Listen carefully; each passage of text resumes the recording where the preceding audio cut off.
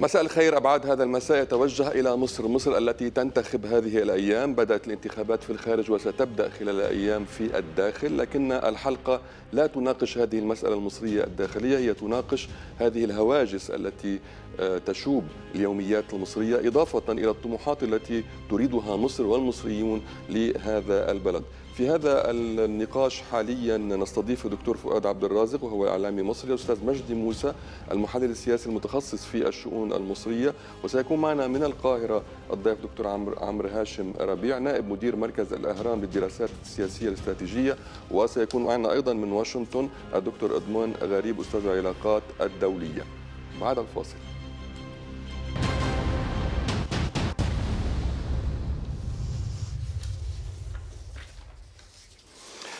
أتوجه إليك مباشرة دكتور عامر هاشم ربيع. أذكر بأنك نائب مدير مركز الأهرام للدراسات السياسية والاستراتيجية في القاهرة. أنتم تعيشون هذه الأيام لحظة معينة مرحلة معينة استحقاق معين داخلي.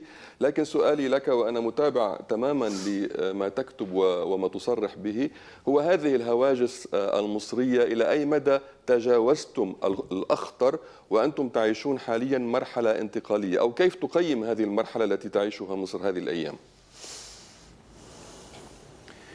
هي بالفعل محمد مليئة بالهواجس ولا زالت تلك الهواجس موجودة. نتيجة الأمور المتعلقة بالأساس من الناحية الرسمية بالمشكلات المرتبطة بالأمن والاستقرار والمحافظة على كيان الدولة من عمليات الإرهاب التي تقوم بها جماعات الإخوان المسلمين الإرهابية وبعض الأطياف الأخرى من الجماعات التي خرجت من عباءتها كداعش وغيرها. وهذه الهواجس هي هواجس حقيقية لكن بالتأكيد هناك هواجس أخرى ربما يطرحها أطراف أطراف أخرى ترتبط بالمجتمع المصري وبالأساس هي متعلقة بالشؤون ذات الطابع الاقتصادي والاجتماعي وربما السياسي أيضا.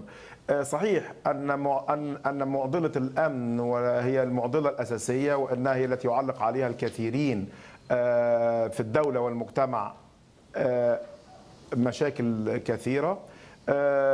لكن هناك إلى جانب تلك المعضلة مشكلات أخرى مرتبطة بالأوضاع الاقتصادية والأوضاع الاجتماعية يمكن أن نتحدث عنها بالتفصيل لو أردت ذلك. دكتور عمر ابقى معنا. سنعرض بشكل سريع لتقرير عبد الكريم مبارك حول هذه الهواجس أو هذه الطموحات التي تعيشها مصر ويريدها المصريون سواء كانوا خشية من هذه الهواجس أو تجاوزها نحو الطموحات.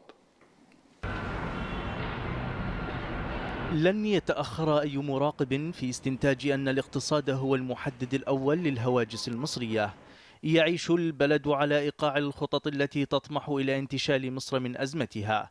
في ذلك بحث عن سبل رفع المداخيل وترشيق الهيكل المالي وجذب الاستثمارات الخارجية وتحويل البلد إلى محطة دولية للطاقة في العالم. تدفع القاهرة نحو تعميق علاقاتها مع السعودية. ففي ذلك بعد في السياسة وبعد في الاقتصاد. لكن مصر تتحرى أيضا ربط البلد بالعواصم الدولية.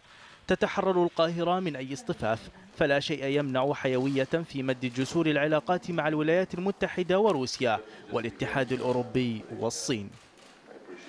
ولأن الاقتصاد أصل الداء فإن مصر لا تبحث عن أدوار مدوية في الخارج. يبدو شعار مصر أولا القاعدة التي تقود خيارات أصحاب القرار في القاهرة. لكن مبدأ مصر أولا يحتاج أيضا إلى تحرك القاهرة داخل ملفات ليبيا وسوريا وفلسطين ودول أخرى. ناهيك عن تحرك في إفريقيا يحمي مياه النيل مما قد يعيق تدفقاته المعهودة.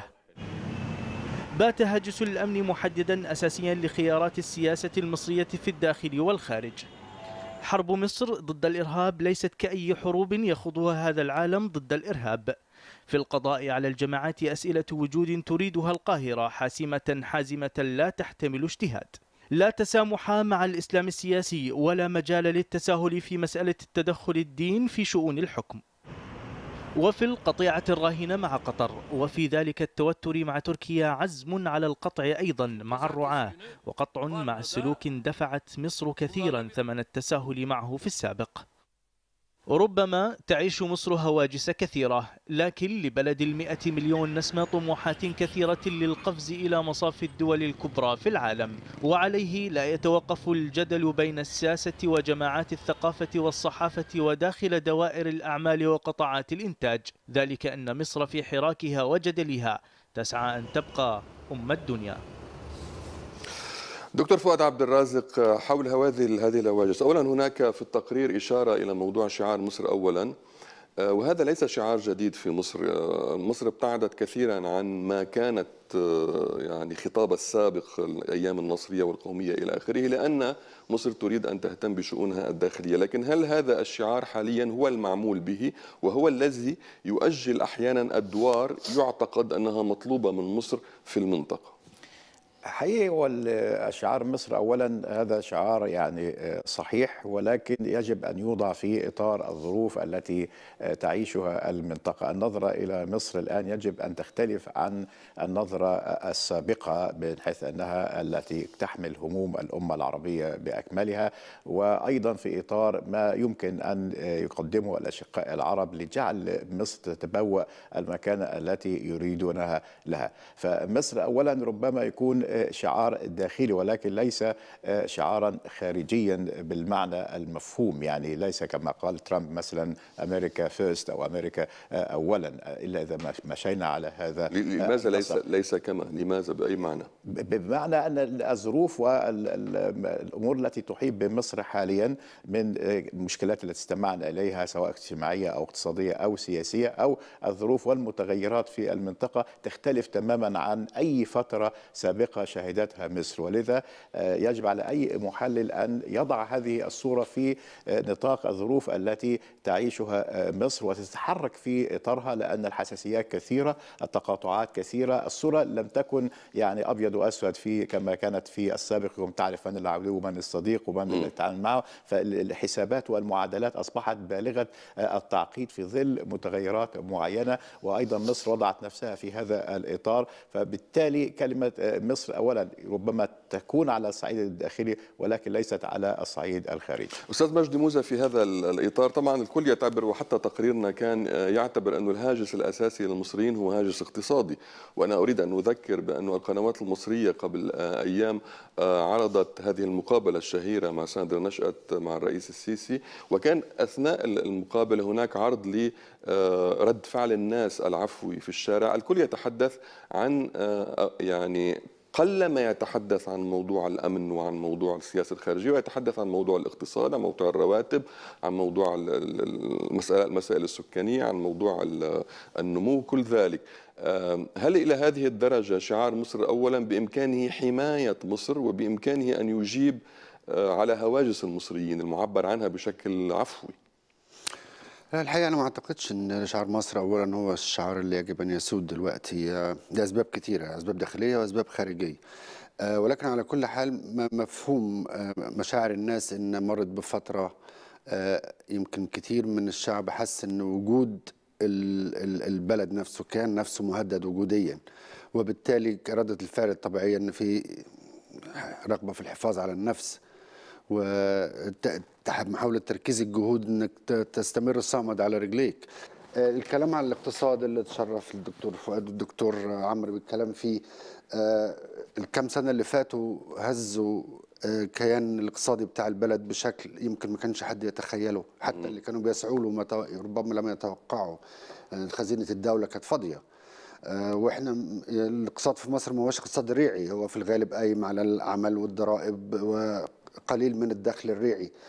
آه ولكن دور آه دور حرب الغاز اللي اشتعلت في المنطقة آه في محاولات تركيع وتفكيك وتحجيم الدور المصري يمكن لها دور كبير في ضعف حالة الاقتصاد المصري وإن الناس في الشارع تشعر بوجود تحسن اقتصادي. سنعود إلى موضوع الدور المصري لكن أريد أن أعود إلى القاهرة مع دكتور عمرو حول المسائل الداخلية. أولا هل هناك نقاش داخلي مصري آه، حول موضوع علاقة الإرهاب بهذا هذا ستاتيكو المصري الداخلي؟ وهل فعلا وكما استمعنا إلى إلى ردات فعل الناس هل كل هذه المشاريع المعلنة بأرقام يعني آه، خيالية آه، هل تتأخر في أن يشعر بها المواطن هناك تأخير في الموضوع خصوصا أن أنا استمعت إلى الرئيس السيسي يعيد المشكلة الاقتصادية المصرية إلى عام 67 وكأن مصر حتى الآن لم تتجاوز آه، النكسة من من من تلك من ذلك التاريخ. شوف هناك آه، طبعا وجهتي نظر في هذه المسألة الموضوع الأمني. وجهة نظر بتتحدث وهي وجهة نظر رسمية وينتمي إليها قطاع معتبر من المجتمع المصري وهي تتحدث على أن مواجهة الإرهاب ومواجهة العنف هو ذات أولوية وأولوية كبرى آه، ويجب أنها تحسم بشكل أو بآخر آه، لصالح عودة الأمن للمجتمع المصري. هناك بالتأكيد وجهة نظر معارضة وتتحدث نتيجة أن كثيرا من هذه الإجراءات الإجراءات التي تقوم بها الدولة تصيب المواطن المصري أكثر ما تصيب الجماعات التي التي تقوم بأعمال الإرهاب. ومن ثم ترى وجهة هذه النظر أن هناك نوع من التلكؤ أو هناك نوع من تعليق ال- عدم ال- ال- الأوضاع السلبية اللي موجودة على جماعة الإخوان المسلمين حتى تستمر السلطة في التواجد على رأس ال- المشهد. هذه وجهة نظر وتلك وجهة نظر مقابلة، الوجهه المقابلة زي ما ذكرت لك أنها تستند إلى أن كاف أو عديد من عديد الإجراءات التي تقوم بها السلطة لا تصيب الإرهابيين ولكنها تصيب المجتمع نعم. بشكل أو بآخر. آه هذه واحدة. الأمر الثاني آه تعليقا على الشق الثاني من سؤالك أن هناك يجب أن هناك حقيقة مهمة للغاية آه آه على الأقل في رأيي وهو أن الحالة الاقتصادية والاجتماعية في مصر مرتبطة كثيرا بالخارج. لا تستطيع أن تفصلها عن الخارج على الإطلاق. آه، هناك لديك قناة السويس مرتبطة بالخارج. هناك لديك السياحة مرتبطة بالخارج. ولنا أن نتحدث هنا عن المشكلات التي سب- تسببت آه، تسب- سببتها إسقاط الطائرة الروسية منذ عامين. طبعا. هناك مشكلة الصادرات صادرات الغاز وصادرات البترول وصادرات ال- القطن المصري. آه، آه، أو التي ما كانت عندما كان القطن المصري في أوجه. لكن هناك صادرات معتبرة. هذه الأمور وصادرات طبعا بالتأكيد صادرات آه، الخضر والفاكهة الخضروات والفاكهة. كل هذه طبعا بالتأكيد مرتبطة بالخارج. لديك أمور متعلقة بقناة السويس. هناك أمور متعلقة بالمصدر الأساسي للعملة الأجنبية المصرية أو العملة العملة في مصر. وهو التحويلات الأجن... تحويلات العاملين في في الخارج.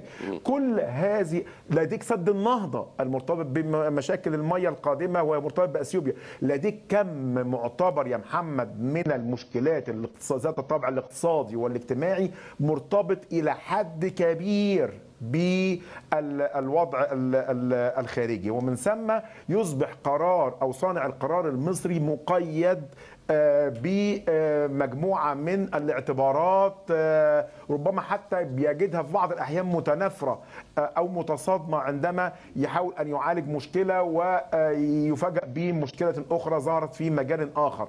فكل هذه الأمور يجب أن تؤخذ في الحسبان إضافة طبعا إلى موضوع الهاجس ال- الأمني الذي يكون له أولوية.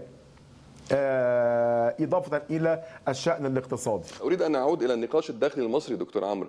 آه، حضرتك تحدثت عن هذا الموضوع وأنا لفتني مجموعة من التصريحات التي لها علاقة بالانتخابات التي حضرتك لا تعتبر أن هناك انتخابات هناك حالة استفتاء حاليا موجودة. هل تعتبر أن المرحلة التاريخية المصرية تتطلب هذا الاستفتاء وتتطلب هذا الاستقرار وهذا الثبات آه، على رأس الدولة؟ وهل المواضيع التي تحدثت عنها المواضيع الخيارات الاقتصادية هل هناك جدل داخلي مصري؟ أم أن القرارات تأتي من السلطة أكثر مما هو جدل بين دوائر الاقتصاد المصرية الداخلية؟ لا أنا أتصور أن الدعوة أو الت- ال- الاستقرار الضمان له بالأساس هو أن يكون هناك مناخ ديمقراطي آه، آه، آه، ومناخ من حرية الرأي والتعبير نعم. أما وإن إن ندعو المشا... ندعو ندعو المصوتين أو ندعو الناخبين إلى حر...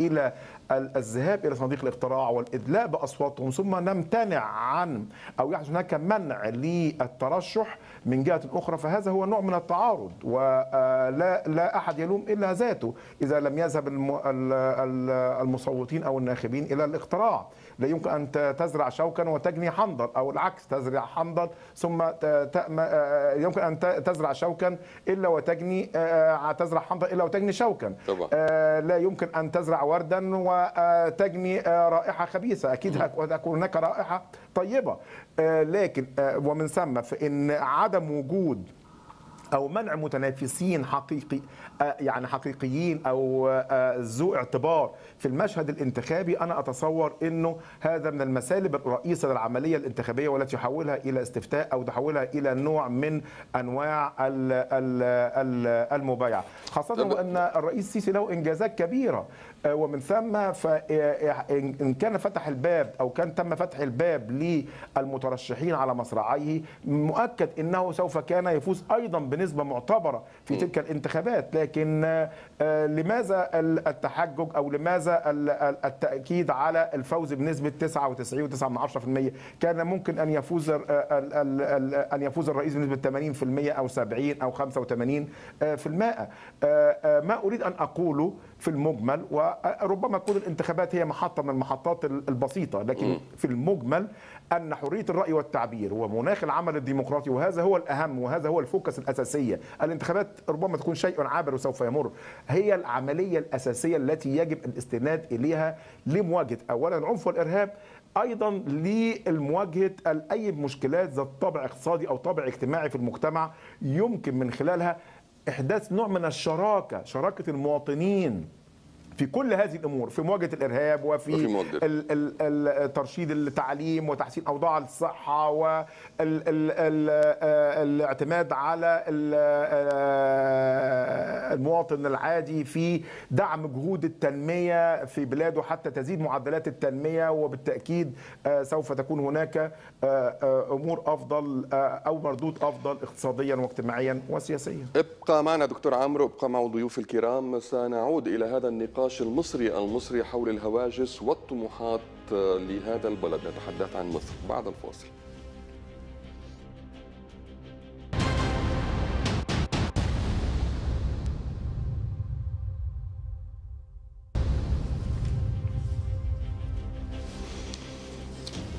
أهلا بكم من جديد أبعاد في القسم الثاني مصر الهواجس والطموحات. دكتور فؤاد عبد الرازق حول موضوع آه، حول موضوع أنه مصر آه، م- متفرغة لشؤونها المصرية وبالتالي آه، ليس هناك آه، يعني منطق لدور مصري قومي إلى آخره. هذه الشعارات الكبرى يبدو من خلال النقاش في القسم الأول أن هذا غير صحيح وأن الأمن المصري الاقتصادي والأمن المباشر آه، يتطلب دورا مصريا سواء يعني الدكتور عمرو تحدث عن مجموعة من القطاعات لكن أنا أضيف على ذلك أيضا مياه النيل التي هي أساس وبالتالي أيضا الدور المصري أو العلاقات المصرية الخارجية هي كفيل بتأمين مجموعة من الملفات. لكن هل تلعب مصر هذا الدور؟ وهل آه، هل هذا الدور يشبه أي دور لها في التاريخ الحديث؟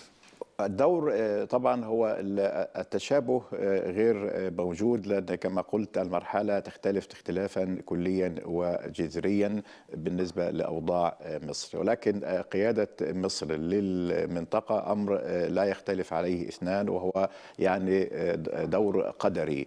يعني من قدر مصر أن تلعب هذا الدور شاءت أم ابت يعني ولا تستطيع قيادة قيادة. يعني نحن أحيانا نبحث عن دور وحضرتك يعني تذهب لا هو ليس. ليس بحثا عن دور بقدر بالقيام بالدور المطلوب منها لأن الدور المصري يرتبط تماما بالدور ال- الخارجي. يعني لولا مصر في المنطقة استقرار مصر من استقرار الأمة العربية كمان ضعف مصر هو من ضعف الأمة العربية.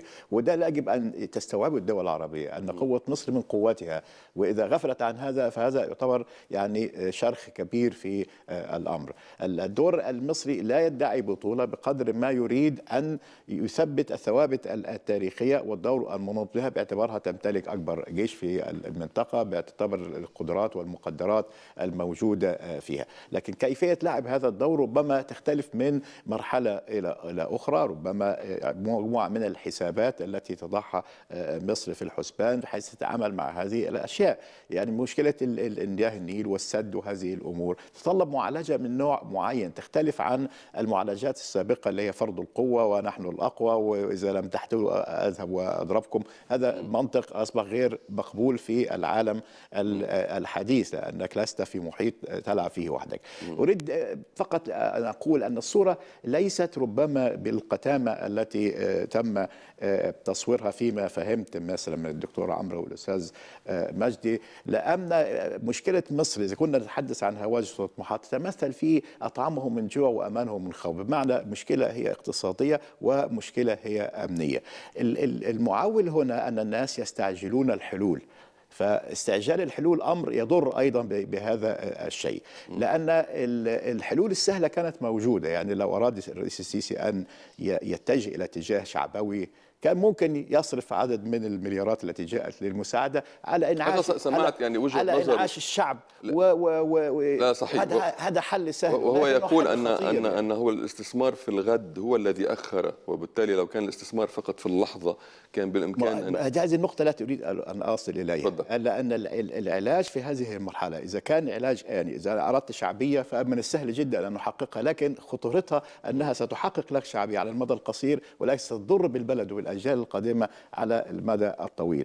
وذلك نأخذ ال- ال- الإصلاحات الاقتصادية وتعويم سعر الجنيه وهذه ورفع الدعم عن بعض الأشياء. هذه يعني دواء مر ولكن يجب أن يت- يتجرعه المواطن ال- المصري. ربما لو كان هناك بعض التخفيف يعني بالنسبة للأولويات والمشروعات الكبرى صرفت على ناحية آه، فقط ل يعني لأن الشكوى من الناحية الاجتماعية وارتفاع الأسعار وهذه الأشياء. كان من السهل معالجتها بهذه ال- الطريقة ولكن ال- ال- الطموح كان كبير ولكن طموح للمستقبل وليس للحظة الآنية. لأن أي رئيس يريد أن يكتسب شعبية سهل أن يبع- يبعث لكن هو الرئيس السيسي وصل إلى ال- ال- المرحلة القصوى من الأشياء يعني. فهذا هو شيء نقطة مهمة. وأيضا أتكلم عن الإعلام. الإعلام يعني ربما تفرغ دوره لموضوع ال- ال- الإخوان والأشياء دي كده لكن لم يوصل الرسالة ال- ال- ال- ال- بتاعت الدولة بالشكل ال- المضبوط. المواطن لا يحس بالإنجازات. إذا سألت المواطن عن الطرق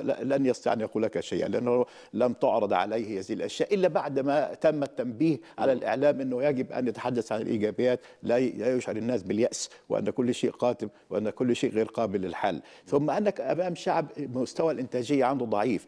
لا يصلح معه إلا العلاج بهذه الصدمات، شيء ينجز في ثلاث سنوات؟ لا انجزه في سنة وينجز في هذا السنة، هذه له دلالة أيضا. ها- هذا هو نوع العلاج المطلوب في هذه المرحلة، لأنه هذا style جديد، الشعب واخذ على النظام الأبوي اللي هو يعني الأب يأتي له كل شيء. لا لكن فاين الدور الذي يجب ان العبه؟ هنا الإعلام مسؤولية كبيرة في هذا ال- الناحية، الإعلام غطى كل شيء وركز فقط على مسألة ال ال ال ال دك طبعا ناحية مهمة موضوع الإعلام أيضا بين دوره ال- يعني التطبيلي بين بين بين مزدوجين ودوره أيضا في محاكاة هو الإعلام لو بدأ. بمصداقية لو كسب مصداقية الشارع عندما يأتي لما تصفه بالتطبيل الشعب يصدقه. لكن للأسف هو ما اكتسبش ثقة وسط الشعب بحيث لما يعرض عليه الأشياء دي آه، لما طلب منه ولكن في مرحلة متأخرة فأصبح الدور يعني محتاج جهد كبير كي يكسب آه، آه، م- آه، ثقة المواطن. فيما يقول. دك... أستاذ مجدي موسى حول هذه المسألة أعيد لل- للسؤال حول موضوع الدور المصري. طبعا حضرتك يعني تعيش في الخارج والسؤال الأول لأي مصري آه، هو أين مصر حاليا؟ والجواب البسيط والسهل جدا أن مصر مشغولة بالإخوان ومشغولة بالإرهاب ومشغولة بمشاكلها الاقتصادية فبالتالي لا تفتش عن دور لنا في سوريا ولا ليبيا ولا العراق ولا ولا اليمن. آه، لكن آه، أيضا من خلال دكتور عمرو ودكتور آه، فؤاد لا آه، مصر تحتاج إلى هذا الدور الخارجي من أجل أمنها الداخلي، أين تجد هذا الدور حاليا؟ أعتقد إنه مفروض على الإدارة الحالية لظروف كثيرة محيطة بها آه، يعني مثلا ال- المسألة الإثيوبية. أنا واثق إن في مجهود لا يتوقف ليل ونهار لحل هذه المسألة. إحنا لا نسمع عنه كثيرا.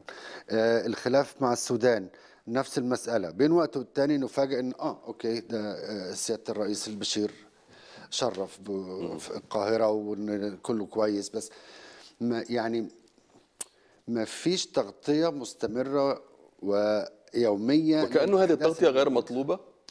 لا أنا أعتقد إن هي يمكن محكومة بشيء باكثر من عامل منهم عوامل شخصية ربما الطباع الشخصية لبعض الأفراد الموجودين في الإدارة الحالية آه، وفي ال- ال- الجزء الآخر وهو إن في بعض الأحيان أنت مضطر زي ما بيقولوا بالمصري البلدي يعني داري على شمعتك تقيد أو استعينوا على قضاء حقائقكم بالكتمان لأن في بعض الأحيان لو في خصوم كتير متربصين بيك وأنت تقول لهم خلاص أنا بكرة هروح من هنا لهنا وبعد بكرة الأسبوع الجاي هكون في الحيط هيزرعوا لك ألغام كتيرة في الطريق.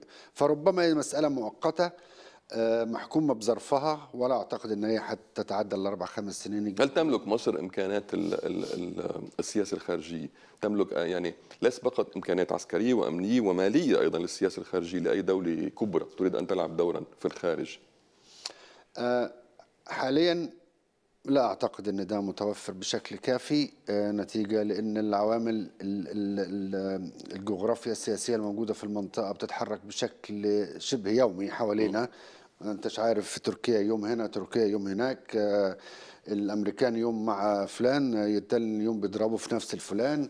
آه، ولكن واضح إن في تصميم بين الدول العربية الكبيرة المؤثرة على رأسها طبعا المملكة السعودية ومصر وبمشاركة الإمارات وربما في أطراف أخرى لم يعلن عن دورها بعد مصرين على أن يكون في قيادة حكيمة بقدر الإمكان للفترة الحالية لأن المنطقة منطقة الشرق الأوسط كلها شبه مشتعلة.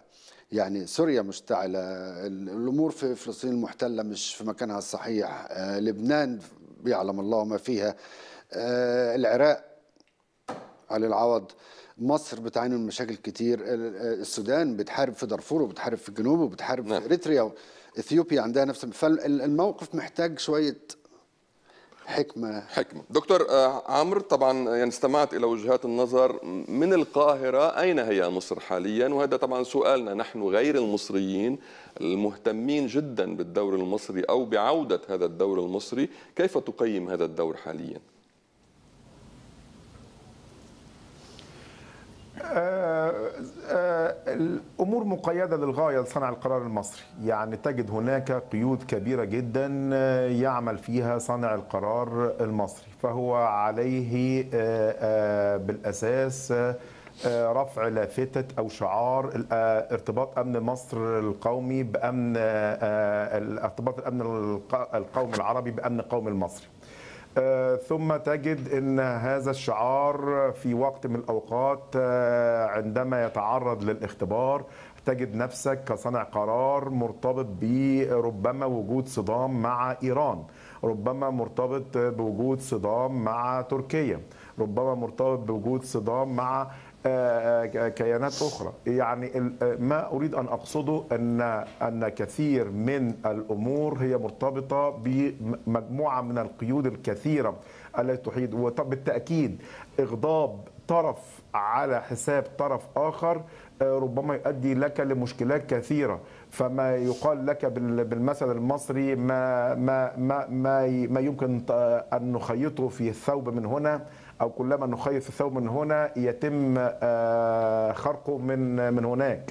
فعندما آه، تتجه إلى معالجة أزمة فإذ بك أن تلك المعالجة ساهمت أو أدت إلى آه، مشكلات.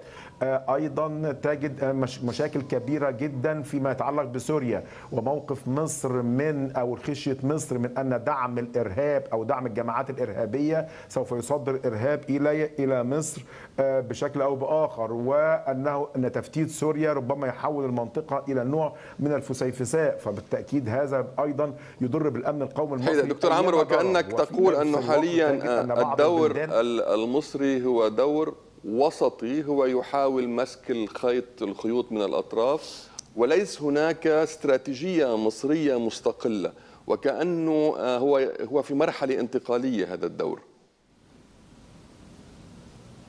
نعم نعم بالضبط. أنا أنا متفق معاك تماما متفق معاك تماما إنه هناك يجب أن يكون هناك حسابات محددة ودقيقة للغاية. لكن ربما يربك المشهد أنك لديك أكثر من مؤسسة تعمل في هذا المكان. ربما تجد وزارة الخارجية الدو- لها لها دور في بعض معالجة بعض الأمور. آه، جهاز ال ال ال ال آه، طبعا المؤسسة العسكرية لها دور. المخابرات العامة لها دور. الأمن الداخلي حتى الأمن الداخلي دكتور فؤاد عبد الرازق هل هل تفضل؟ أنا عندك أنا ملاحظة. أريد يعني أن أتحدث عن الدور آه، التوازن الذي أحدثه الرئيس السيسي في العلاقة بين أمريكا وروسيا علاقته بالطرفين يعني. وهذا شيء جيد لأن لأن الذي يتحكم في العالم اليوم هي الولايات المتحدة الأمريكية وأيضا هناك قيادة جديدة ترامب يجب أن يحسب لها حساب لأنه لا يعرف كيف كيف تصرفها يعني. أنه رئيس يحكم العالم بتويتر كما كما قلنا. فوجود علاقة جيدة مع الطرف الأقوى في العالم. الولايات المتحدة هذا أمر جيد.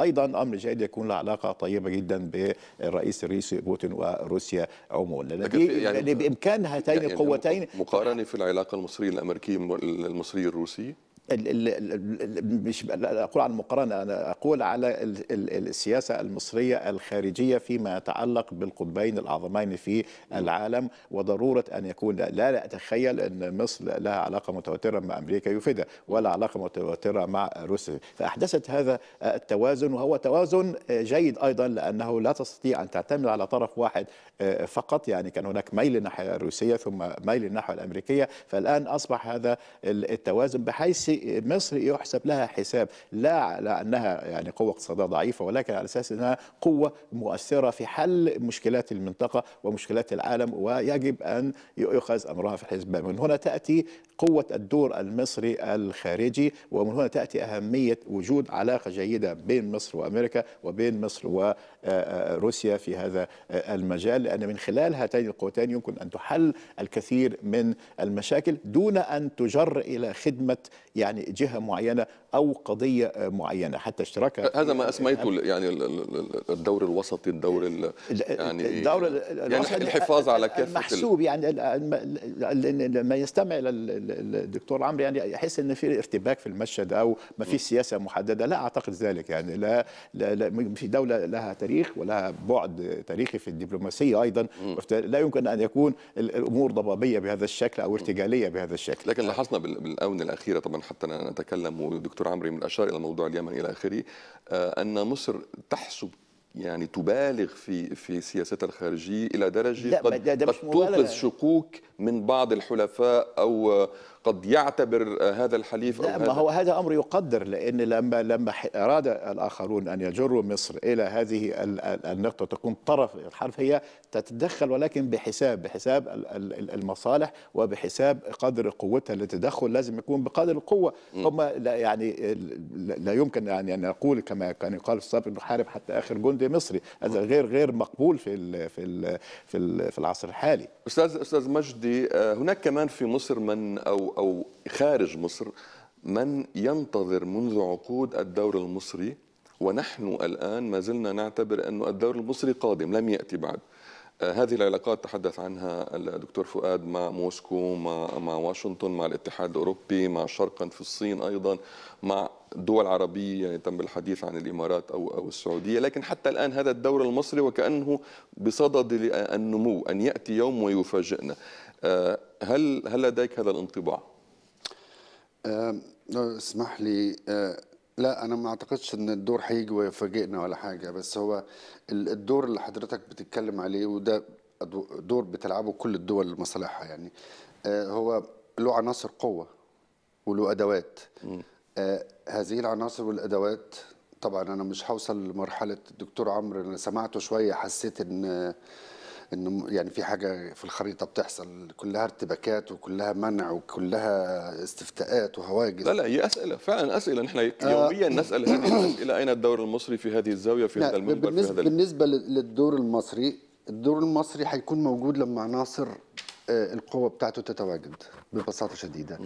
آه، محتاجين الاقتصاد يقوى القوة العسكرية يعني إلى حد ما أعتقد أن هي في حالة جيدة.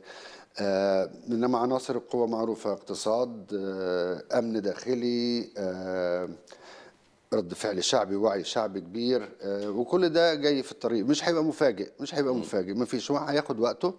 ما, ما تنساش حضرتك إن إحنا من سبع ثمان سنين يعني في ناس بتشك أساسا إن مصر دي هتستمر كمصر. فأعتقد المسألة هتاخد وقت ومجهود وعمل دؤوب وخطوات فوق خطوات. وانت بت- بتعمل في وسط قوى كلها بتتجاذب وتتنافر وداخل براكين و- حاليا يعني. آه يعني ال- الأمر ما هوش بالسهولة الشديدة وأنا أعتقد إن ال ال الإدارة المصرية بأشكالها تتحرك كوحدة واحدة حتى لو كان في اختلاف داخلي في بعض وجهات النظر إنما في النهاية الحركة بيبقى توجهها واحد. آه، مفيش مخابرات شغالة في حتة وجيش شغال في حتة ورئيس شغال في حتة ما أنا ما أعتقدش إن ده موجود. آه، الإدارة بشكل كامل ربما بيحصل مناقشات داخلية ولكن في النهاية بيتم الاتفاق على توجه والتوجه ده بيتم التمسك بيه ولا بديل عن كده لأن اي أي هزة في في تماسك الإدارة يعني البلد لن تتحمله ولا أعتقد إن ده وارد يعني. طيب في القسم الأخير سنستضيف الدكتور أدمون غريب أذكر بأنه أستاذ علاقات دولية في واشنطن لكن أيضا سي- سيحدثنا آه، يعني سيثير ما آثاره الدكتور فؤاد عبد الرازق حول مسألة العلاقة بين واشنطن وموسكو نتوقف مع فاصل قصير نعود بعد قليل.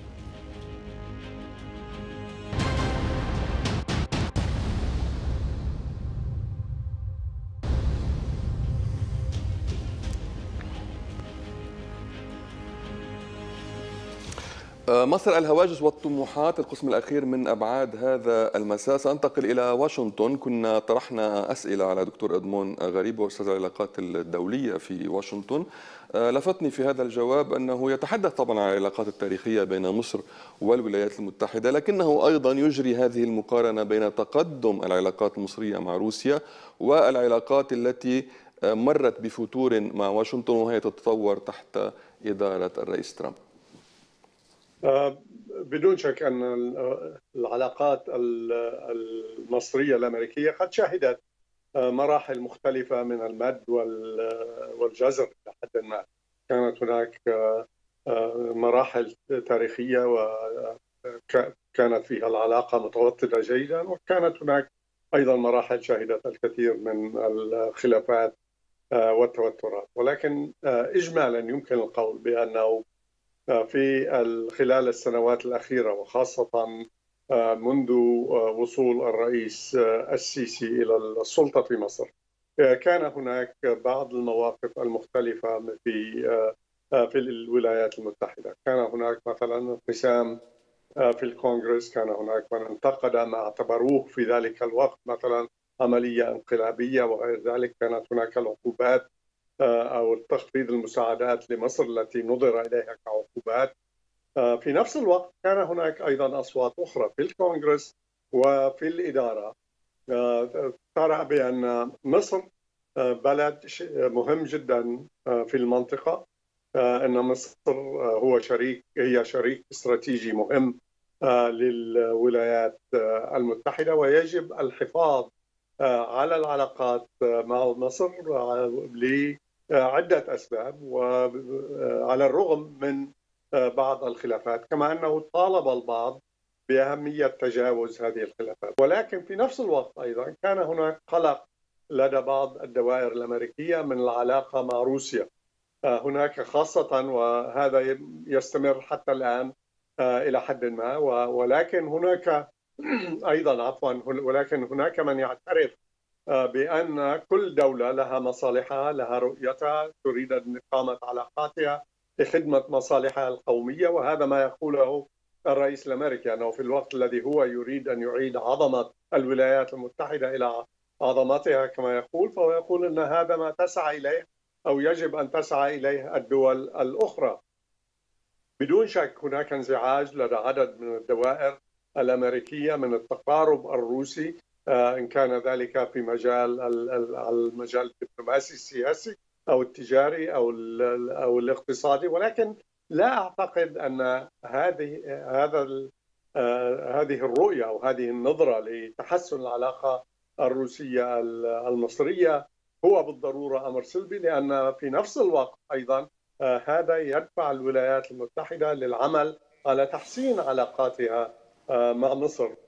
إلى القاهرة دكتور عمر من جديد حول هذا التخوف أو التحفظ الأمريكي عن عودة العلاقات المصرية الروسية. أريد أن أفهم منك فعلا أولا مستوى هذه العلاقات وهل بالإمكان القول أن هذه العلاقات تعود بمصر إلى زمن الاتحاد السوفيتي؟ آه، ثانيا هل الخيارات المصرية واضحة في العلاقة مع واشنطن؟ بمعنى يعني أيام بعد كام ديفيد كانت العلاقة استراتيجية أساسية مع الولايات المتحدة.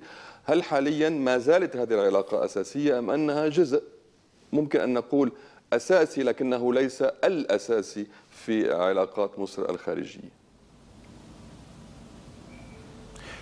شوف محمد دائما من يتحدث عن العلاقات المصرية الأمريكية أو المتحدثين دائما عن هذه العلاقات بياخذوا العامين 78 و79 كمقياس. لطبيعة هذه العلاقة سواء إذا كان بيتحدثوا عن ما قبل هذه الأعوام أو ما بعد هذه الأعوام. هم يأخذوا هذا الأمر على اعتبار إن هو السند الأساسي أو سند الأساس أو المرجع الأساسي لقياس مدى التوتر أو مدى التحسن في العلاقات المصرية الأمريكية. هذا في تقديري ربما يكون فيه نوع من المبالغة أو اصبح أو أصبح غير سليم في الوقت في الوقت الحالي. بالتأكيد دخلت فواعل أخرى على العملية السياسية فيما يتعلق بعلاقات مصر مع الغير أو علاقات الغير مع مصر. دخل عامل الإرهاب أو فاعل الإرهاب الذي أصبح بشكل أو بآخر فاعل في من الفواعل الدولية.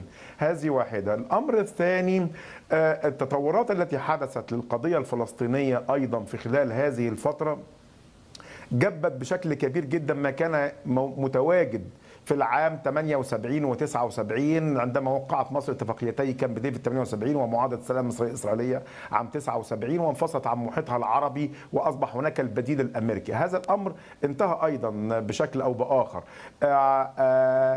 أصبح هناك يعني أمر جديد أو مناخ جديد تطورات كبيرة جدا شهدتها القضية الفلسطينية في هذه الفترة. جعلت هناك نوع من الحلول البديلة أو الطرح المصري الذي كان يتحدث عن حكم ذاتي للفلسطينيين وفقا لاتفاقيتي كامب ديفيد انتهى. بالتأكيد كانت هناك رؤية مصرية أيضا لتدخل أمريكي في الشأن المصري الذي هو كان نابع كما كما يقول الدكتور ادمون من المصالح أو الذي كان يحكمه المصالح بشكل أو بآخر المصالح الأمريكية فيما يتعلق بموقف الولايات موقف مصر بشكل أساسي من ليس فقط من الولايات المتحدة ولكن أيضا من من من محيطها الدولي خاصة أوروبا إلى جانب الولايات المتحدة الأمريكية وهو ملف حقوق الإنسان الذي دائما ما كان يستدعى اوروبيا بشكل عام وامريكيا بشكل خاص. كلما كانت هناك ما ينغص فيه أو ما كانت تسعى إليه الولايات المتحدة الأمريكية إلى أن يكون مصدر قلق في مسألة علاقتها بالولايات بمصر بشكل أساسي. كل هذه الأمور طبعا بالتأكيد مسألة المعونات لم تكن بعيدة عن ذلك. تخفيض المعونات العسكرية وتخفيض المعونات الاقتصادية كل هذه الأمور. وسعي مصر أيضا في المقابل إلى أن هذه المعونات لم تكن أو أو من الممكن أن تستعيد عنها مصر في في مرحلة من المراحل. وبالتأكيد سعت بعض البلدان العربية في الخليج إلى تلك الاستعاضة أو عاونت مصر على هذه الاستعاضة بعد 30 يونيو 2000 2013 تعاطفا بعد التعاطف الذي أبرزته جماعة الولايات المتحدة الأمريكية وبعض البلدان الأوروبية مع جماعة الإخوان المسلمين ومع ملف حقوق الإنسان أو ما كانت تسعى إليه بعض المنظمات الدولية متعلقة بهذا هيومن رايتس ووتش وما إلى غير ذلك وتقارير الخارجية الأمريكية عن حاله حقوق الإنسان في بعض البلدان في في بلدان العالم ومنها الحالة المصرية. كل هذه الأمور جعل هناك زي ما سبق أن ذكرت لك محمد إن صانع القرار المصري ابتدى يفكر تفكير بالتأكيد أكثر استقلالية. بتنويع هذه العلاقات. لم تعد العلاقات المصرية الأمريكية هي علاقات استراتيجية. م. لم تعد الولايات المتحدة لم تعد مصر تنظر أو لم تعد حتى الولايات المتحدة الأمريكية تنظر إلى زي ما كان يحدث في المناخ القطبية إما معي أو إما علي لأن أصبح هناك في تعدد أقطاب في المجتمع الدولي. أصبح هناك أصبحت هناك ألمانيا هناك الصين هناك الاتحاد الأوروبي هناك بريطانيا هناك طبعا إضافة إلى عودة الدب الروسي مرة أخرى بعد انهيار المنظومة الاشتراكية. كل هذه الأمور جعلت هناك لا أتصور إن الولايات المتحدة الأمريكية ستكون غاضبة أو ستكون إذا كان هناك يعني هذا هذا طبعا. ما, ما أشار إليه اعتماد مصري أو علاقات مصرية مع دكتور محمد يعني دكتور عمرو تكلمنا كثيرا عن الهواجس. نريد أن نتكلم عن الطموحات لا فقط للسؤال أنا في عند دكتور ادمون عندما يقول أن هناك يعني قلق أمريكي. من العلاقات الجديدة الروسية المصرية. أنا شخصيا لا أؤمن بأن هناك قلق أمريكي ولا أؤمن أساسا أن العلاقات المصرية الروسية أو الروسية العربية بشكل عام تنافس التواجد والنفوذ الأمريكي الموجود في المنطقة. لا أعرف وجهة نظرك على الأقل في الزاوية المصرية. لا هو هو كما يسمى نوع الديتيرنت نوع التوازن الردعي ليه؟ لأن وجود العلاقه الطيبه مع الجانبين بيردع الآخر من إنه يضر بالموقف المصري. هذا هذا هو الحكمة من وجود علاقات متوازنة بين الاثنين. الأمريكا لا تخشى طبعا علاقات مصر مع روسيا ولكن تعمل لها حساب بطبيعة الحال. يعني حتى مثلا موضوعات أخرى بيكون لها حساب حسابات دقيقة لما تعلم أمريكا أن هناك طرف آخر يمكن أن يسد مكانها وأن يحل محلها. هذا أمر مهم جدا بالنسبة للسياسة المصرية. لكن هل هناك طرف آخر باستطاعته أن يسد محلها؟ يعني روسيا الجديدة ليست الاتحاد السوفيتي. وبالتالي لا لا مع وجود رئيس طموح مثل بوتين راجل يريد أن يعيد أمجاد الاتحاد السوفيتي ويريد أن يخلق إمبراطورية جديدة وهو ينافس أيضا الآن. يعني يعني إذا نظرت للمشاكل التي يتعرض لها طريقة التعامل مع مصر الاتحاد السوفيتي آسف روسيا تتعامل بمنطق القوى الكبرى. ومنطق يعني واجب أن ينظر إليه العالم الآن بهذا المنطلق. ليست يعني ربما ليس اسمها الاتحاد السوفيتي ولكن يجب أن ينظر إليها بنفس القوة التي كانت عليها في في في في السابق. فهذا أمر مهم. لا نستطيع أن نستخف بالقوه الروسية في هذه الآونة بالذات وفي حل الكثير من المشاكل. أمريكا نفسها لم تستطع أن تحل الكثير من المشاكل تدخلت فيها روسيا وأوجدت لها سواء خطأ أو أو صواب ولكن استطاعت أن تحل مشكلات كبيرة ومنها مثلا مشكلة سوريا. لولا روسيا هناك لما حلت وحلحلت المشكلة وقد يمكن الوضع أن يتفاقم أكثر. هي موضوع توازنات مهمة ومهمة على مصر أن تلعب هذا الدور في التوازن بين الاثنين. بطبيعة الحال أمريكا لن تخشى هذا ولكن تعمل لها حساب. أستاذ مجدي في هذا الإطار هل بإمكان مصر طبعا كنا نتحدث عن إمكانية أن تلعب مصر دورا خارجيا وهو يحتاج إلى امكانات لكن أيضا حتى تلعب دور التوازن أيضا تحتاج إلى امكانات وعادة من يلعب دور التوازن هي الدول الصغرى التي بإمكانها أن تلعب بين الكبار. عندما تكون دولة كبرى كمصر الحركة ستكون يعني مثقلة نوعا ما. ده حقيقي. أنا أنا ما أعتقدش إن الأمور يعني ماشية في طريق إيجاد توازن ما أو اللعب على أكثر من طرف أو أنا أعتقد إن اللي بيحكم المسألة في ذهن الإدارة الحالية هو المصالح المتبادلة. إذا كان لدي مصلحة مع روسيا في الحصول على لكن عادة الولايات المتحدة سابقا لم تكن لتسمح لدولة حليفة أن تفتح هيك علاقات على حسابها بمزدوجين مع الاتحاد السوفيتي أو مع روسيا أو مع الصين أو تمام. حضرتك عندك حق في كده بس ده كان إدارة أخرى في زمن آخر وليس ما هو حادث الآن. م. أنا أعتقد أن ما يحدث الآن هو النظر بشكل واضح للمصالح المتبادلة. هناك ما نريده ويريدونه. ربما هم نحن نريد أكثر مما يريدون هم ولكن كل طرف من الأطراف لديك معهم مصالح متبادلة وأمريكا تتعامل مع مع روسيا تتعامل مع الصين تتعامل مع كل ما يمكن أن تتصوره خصما لها وربما تنقلب عليهم غدا ثم تقارب منهم ثانية بعد غد. فيما يرى مصالحه ويتحرك وأعتقد إن ده اللي بيحكم الإدارة المصرية حاليا. ما احناش أعتقد إن مصر ما هياش أو الحكومة أو الإدارة الحاليه لا ترى إن مصر في موقع يسمح لها بطرف تبني موقف عقيدي أو عقائدي من العلاقات الخارجية. وما أعتقدش إن ده حتى عملي ولا مفيد.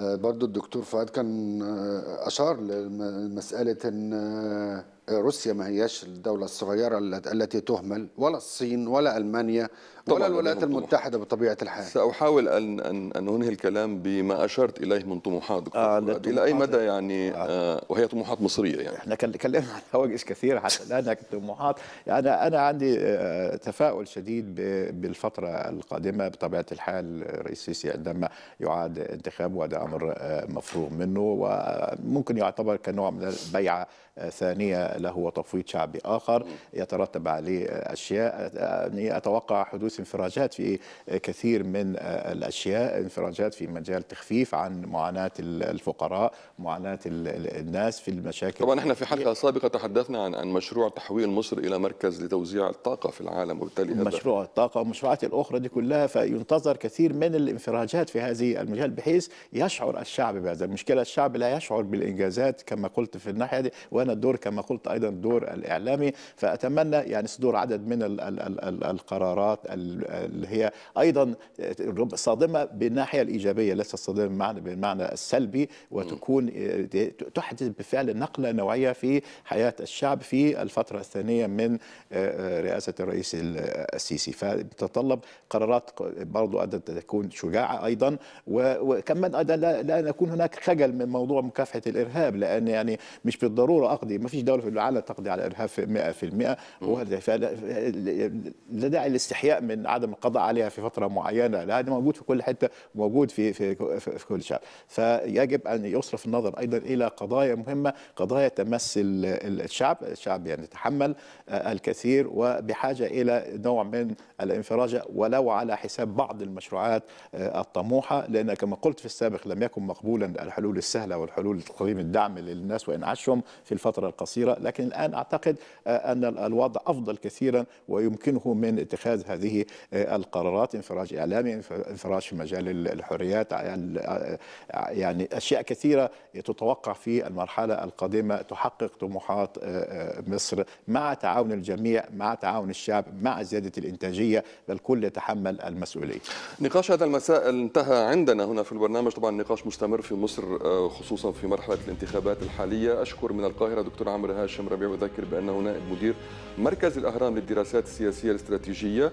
أشكر أيضا من واشنطن الضيف الذي كان معنا دكتور أدمون غريب وهو أستاذ العلوم العلاقات السياسية. وأشكر دكتور فؤاد عبد الرازق الاعلامي المصري والأستاذ مجدي موسى كانوا معنا هنا من لندن. شكرا لانتباهكم. إلى اللقاء. إلى الأسبوع المقبل. شكرا.